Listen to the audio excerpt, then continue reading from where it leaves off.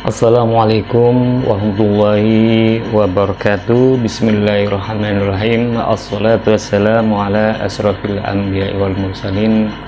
Sayyidina Muhammad wa ala alihi washabi ajma'in. Apa kabar semua sahabat-sahabatku? Semoga selalu dalam lindungan Allah subhanahu wa ta'ala.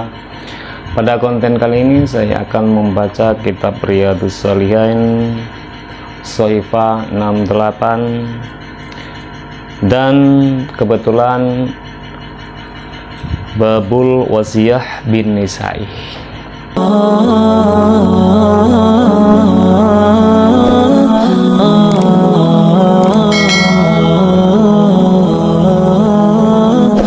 Bismillahirrahmanirrahim. Babul wasiyati Bab ini menerangkan wasiah bin nisa'i kepada beberapa istri Qala berfirman Allah Ta'ala Siapa Allah Ta'ala? A'udzubillahi minasyaitonir rajim Bismillahirrahmanirrahim. Wa ashiruhunna bil ma'ruf. Surat An-Nisa ayat yang ke-19. Wa asiru dan bergaullah kalian guna kepada itu. An-Nisa bil ma'rufi dengan baik. Jadi dianjurkan oleh Allah Subhanahu wa taala semua istri itu harus bergaul dengan istrinya dengan baik. Wa ta'ala dan Allah berfirman walan tastati'u an ta'dilu bainan nisa walau harastum fala tamilu kullal mail fatadharuha kal mu'allaqah walan tastati'u dan tidak akan bisa tidak akan mampu kalian kata Allah. Allah ta'adilu harus mengadili berbuat adil kalian. Bainan nisa'i di antara istri-istri. Walau harustun walaupun anda menginginkan kalian sekali-kali tidak akan dapat berlaku adil terhadap istri-istrimu kata Allah walaupun kalian sangat ingin berbuat adil. Ini khusus orang yang beristri lebih dari satu. Maka kata Allah pola tamilu maka janganlah condong kalian kulal mailih semua kecondongan kalau Anda terlalu condong kata Allah Subhanahu wa taala fatadaru maka menjadi penyebab meninggalkan kalian kepada itu Anissa kal mu'allaqah seperti yang digantung. Karena itu janganlah kalian terlalu cenderung kepada yang kamu cintai sehingga kalian membiarkan istri yang lain terkatung-katung. Jadi bagi orang yang beristri lebih dari satu, janganlah terlalu condong kepada istri yang lah yang lain. Harus dibuat adil. Baik dari segi nafkahnya, nafkah batin maupun gilirannya maupun nafkah dohir akan tetapi wa in taslihu wa in tuslihu wa tattaqu wa tattaqu. Wa in tuslihu wa tattaqu fa innallaha ghafurur rahim. Wa in tuslihu dan apabila memperbaiki kalian wa tattaqu dan bertakwa kalian fa innallaha maka sesungguhnya Allah ghafurun ini banyak pemaafnya rahimun yang pengasih dan jika kalian mengadakan perbaikan dan berbuat adil kepada semua istri, maka Allah itu maha dan bertakwa kepada Allah maha itu maka Allah itu maha pengampun dan maha pengasih. Seperti itu. Fa ghafurur Surat An-Nisa ayat yang ke 129 maka dari itulah kalau kalian mempunyai istri lebih dari satu, maka berbuat adillah kalian kepada mereka di segi giliran tidur, di beserta nafkahnya, nafkah batin atau dohir itu harus dibagi. Tidak boleh ditunda gilirannya. Misalnya malam Sabtu malam Minggu di malam Sabtu di istri muda, malam Minggu di istri tua seperti itu. Harus waktu gilirannya itu jangan sampai ditinggalkan.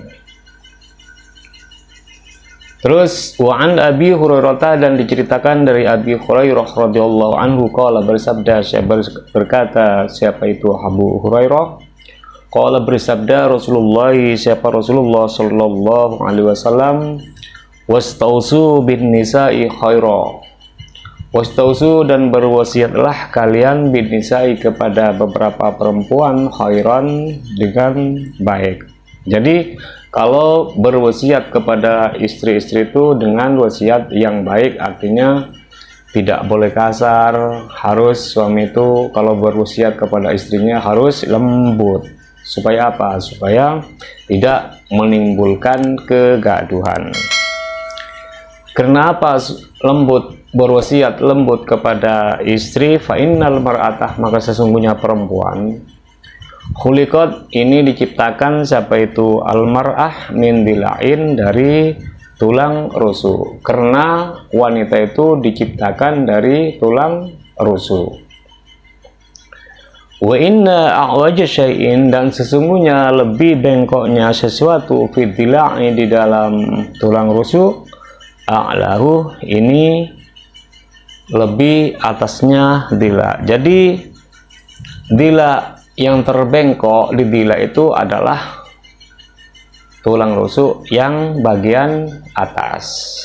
Fa'in daftah apabila bertindak anda atau kimah meluruskan anda kepada itu adila kasartah maka memecahkan engkau hu kepada adila apabila anda bertindak untuk meluruskan tulang rusuk ini maka mau tidak mau harus mematahkan.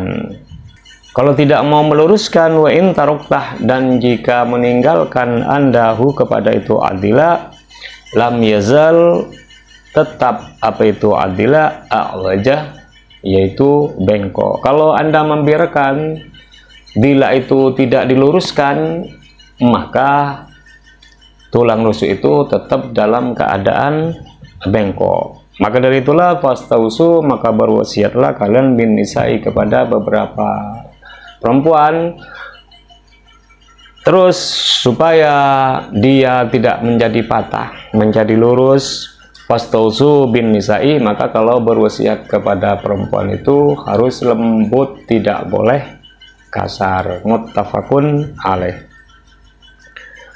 Wafi riwayatin dan disebut di satu riwayat fi ini yang berada di sahihnya Imam Bukhari dan Imam Muslim al mar'atu kadila in akom taha kasar taha memakai lafat al mar'atu kadila in akom taha kasar taha al mar'atu utawi perempuan kadilai ini seperti tulang rusuk in tah jika meluruskan anda kepada itu almar'ah kasartah maka memecahkan anda kepada itu almar'ah. Jadi kalau anda perumpamaan perempuan itu sama dengan diibaratkan dengan tulang rusuk apabila anda mau meluruskan maka harus mematahkan Wa ini istamta'tah dan jika menikmati engkau biha kepada perempuan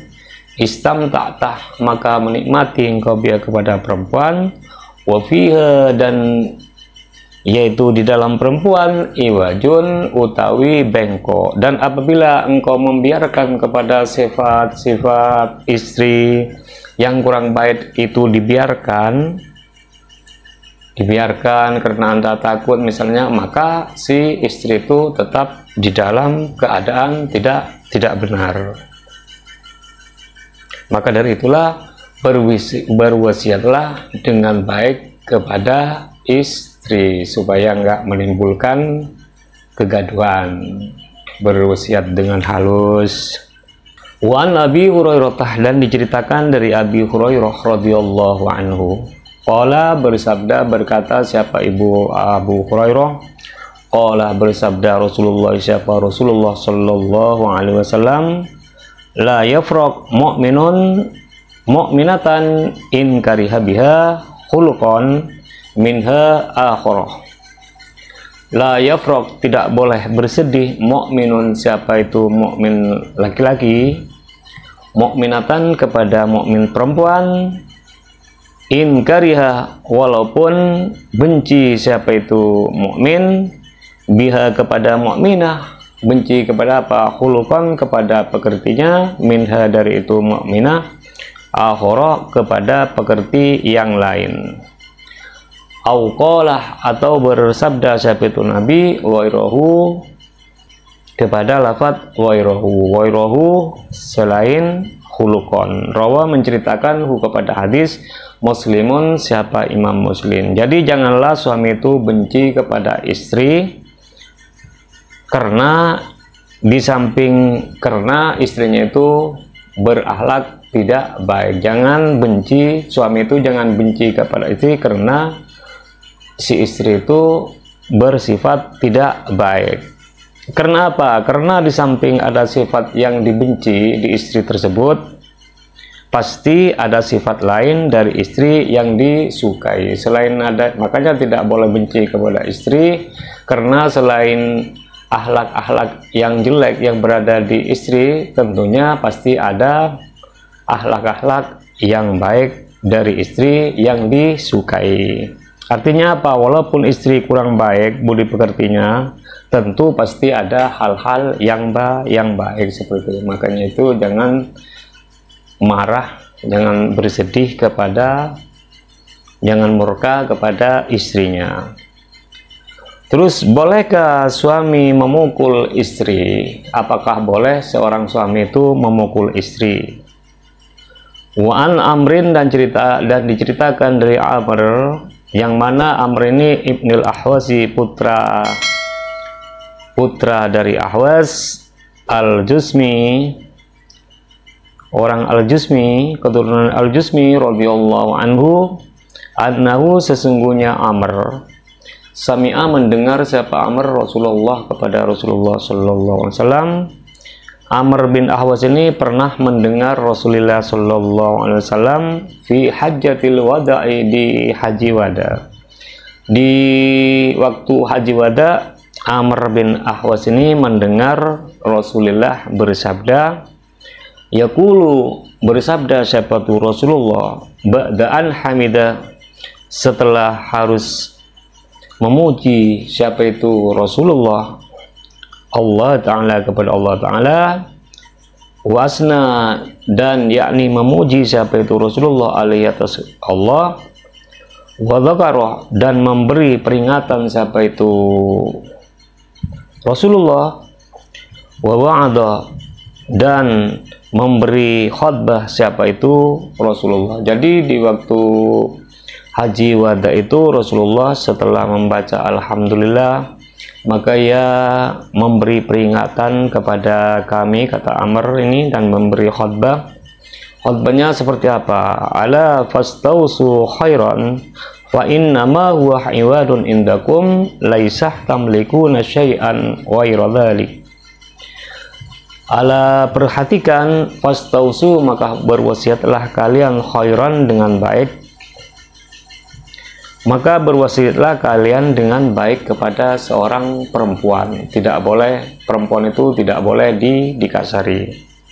Karena apa? Fa inna ma hunnah maka sesungguhnya utawi itu Anissa iwanun ini tawanan indakum di sisi kalian. Jadi ibaratnya seorang istri itu adalah tawanan di sisi kalian. Laisa tidak ada tamlikuna memiliki kalian syai'an sedikit pun wairadhalika selain itu bersenang-senang. Kalian itu tidak memiliki hak sedikit pun selain mengambil kesenangan dari perempuan. Jadi berwasiat baiklah kepada perempuan kecuali illa ayatina kecuali harus mendatangkan siapa itu Anissa bifahisatin dengan keburukan mubayyinatin yang jelas kecuali si perempuan itu mendatangkan keburukan yang sudah jelas dilakukan. Fa'in fa'alna maka jika melakukan siapa itu an-nisa fahjuru memisahlah kalian huna kepada itu an-nisa fil madaji'i di tempat tidur. Jadi walaupun kalaupun si perempuan si istri itu melakukan keburukan maka tidak boleh ditinggal kecuali ditinggal di rumah saja. Nanti istrinya marah-marah di luar kota maksudnya ditinggalkan itu tidak boleh. Kecuali si istri itu ditinggalkan di dalam rumah saja. Wadribu dan memukullah kalian huna kepada itu. Anisa wairomobarrojin yang tidak melukai. Dan boleh memukul seorang istri itu asalkan tidak dilukai dan asalkan tidak mematahkan tubuhnya. Tidak boleh kalau mematahkan tubuhnya tidak boleh melukai juga tidak boleh dan memukulnya. Kalau ia melanggar maka itu boleh hukumnya. Fa in maka jika taat syabetuni sakum kepada kalian fala tabtagu maka jangan mencari kalian alaihinna terhadap perempuan-perempuan sabilan kepada jalan. Maka kalian jangan bersikap kasar kepada istri. Jika jika istri sudah taat kepada suami, sudah sopan, sudah taat, maka kita itu tidak boleh mencari a alasan, tidak boleh berkata kasar kepada istri. Seperti itu. Allah perhatikan kata Nabi innalakum sesungguhnya untuk kalian ala nisaikum terhadap istri-istri kalian hakon apa itu hak. Jadi anda itu mempunyai hak seorang laki-laki seorang suami mempunyai hak untuk melindungi perempuan istri baik dari segi nafkahnya baik batin maupun dohir walinisaikum dan untuk istri-istri kalian alaikum terhadap kalian hakon apa itu kewajiban. Begitu juga seorang suami seorang istri itu mempunyai hak untuk patuh kepada suami. Fahakukum maka hak kalian alaihinna terhadap perempuan-perempuan Allah yu'ti. Nah harus tidak mempersilahkan siapa itu. Anisa furusakum kepada lemiknya kalian. Tukrihuna yang benci kalian. Hak para suami mengatakan terhadap istrinya mereka perempuan itu tidak boleh memasukkan satu orang pun yang tidak disukai suami ke dalam rumah. Jadi suami itu tidak boleh memasukkan orang lain ke dalam rumah. Baik dia seorang perempuan apalagi laki-laki seperti itu. Allah perhatikanlah wahakkuhunna dan utawi hak-hak perempuan alaikum terhadap kalian. Antuh sinu harus berbuat baik kalian ilaihinna kepada perempuan fi kiswatihinna di dalam pakaian perempuan wa dan makanan makanan perempuan. Jadi hak kalian terhadap istri terhadap istri yaitu memberi memberi pakaian yang baik kalau ada rezeki dan memberi makanan yang baik terhadap istri-istrinya. Rawa menceritakan kepada hadis Atul Mudi siapa itu Imam Atul Mudi Kolah berkata siapa itu Imam Atul Mudi hadisun hadis hasanun yang hasan jadi hadis ini adalah hadis yang hasan Terus selanjutnya wa'an Muawiyah dan diceritakan dari Muawiyah. Siapa itu Muawiyah? Muawiyah ini adalah Ibni Haidah putra dari Haidah radhiyallahu anhu qala berkata siapa itu Muawiyah Qultu saya bertanya ya Rasulullah wahai Rasulullah ma hakku zaujati ahadina alaihi ma hakku zaujati ahadina apa hak-hak istri salah satu kami alaihi terhadap itu ahad? Apa hak suami kepada istri? Maksudnya seperti itu. Qala berkata siapa itu Nabi in tud imaha antut imaha ida tu'imta Hak kalian kepada istri kata Nabi antut imah harus memberi makanan kalian kepada itu istri ida tu'imta apabila makan kalian. Jadi kalau Anda makan istri harus makan dikasih makan juga wataksu dan memberi pakaian kalian kepada itu istri idat tasabtah apabila mendapat hasil kalian. Kalau ada ada hasil dari kerja dari kerjaannya sudah mendapat gajian kalau ada uang lebih ya belikan pakaian yang bagus. Terus bolehkah seorang suami itu memukul wajah si istri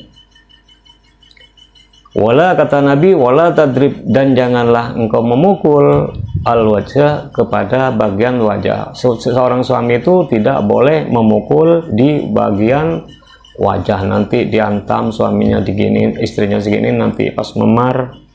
Makanya tidak tidak boleh memukul bagian muka wala tuqabbih dan jangan mengolok-olok kalian. Wala tahjur dan jangan meninggalkan kalian illal fil baiti kecuali ditinggal di dalam rumah. Dan istri itu walaupun melanggar tidak boleh ditinggal sembarangan ditinggal di luar desa luar kota kecuali walaupun ia melanggar tinggalkan saja di dalam rumah saja itu saja dari saya, semoga bermanfaat. Dan apabila konten ini sangat bermanfaat silahkan di like, comment, share, in subscribe dan dibagikan kepada teman-teman yang lain.